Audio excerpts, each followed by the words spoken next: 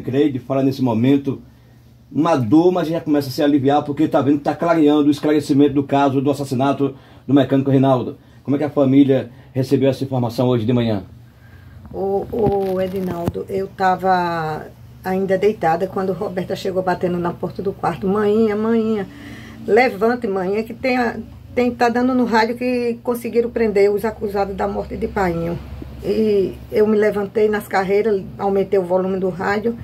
Eu não vou dizer a você que eu estou feliz, porque nada vai trazer meu marido de volta. Deus sabe que foram dois anos de muita oração.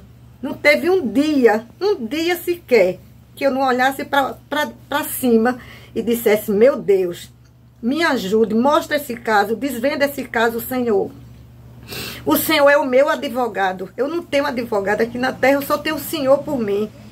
E hoje eu, eu, eu não me sinto feliz, mas pelo menos eu estou vendo que a justiça do céu está começando a ser feita. Eles vão, eles estão prenderam esses, esses, esses, esses acusados aí na morte de Rinaldo. E eu tenho fé em Deus que através deles a gente vai descobrir quem mandou fazer uma maldade dessa. Porque o meu marido não tinha confusão com, com ninguém, não tinha recha com ninguém. E essa pessoa acabou com a minha família, acabou com a alegria da minha vida.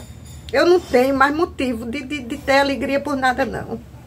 A família vê que além desses executores, pode ter algum mandante por trás de tudo isso. É, vamos ver, né, se, se tem algum mandante por trás.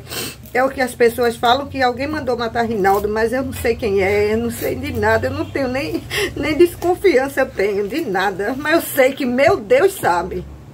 Eu sei que ele sabe quem foi e que a justiça seja feita, é só isso que eu peço. Pronto, aí portanto... Audiência de custódia. Você chegou a ter contato com ele? Cheguei, perguntei por que ele fez isso, mas... Ele não respondeu? Ficou lá remungando, mas você sabe que ele está envolvido. Como foi para você estar tá de cara a cara com uma pessoa que tem participação, segundo as investigações, claro, na morte do seu pai? Muito difícil. É muito difícil, na verdade não tem nem palavras, nem palavras. É muito difícil. Assim como disse sua mãe, já começa a respingar um alívio de que a justiça começa a ser feita depois de dois anos. É, traz um pouco de alívio, né? Mas sabendo que nada traz a vida do meu pai de volta, né? Mas a polícia tá aí para fazer o trabalho dela, a gente confia nele, já viu que esse passo foi dado. Então a gente só é orar e pedir a Deus para que continue, para a gente finalizar esse caso. Força para a família nesse momento. Obrigada.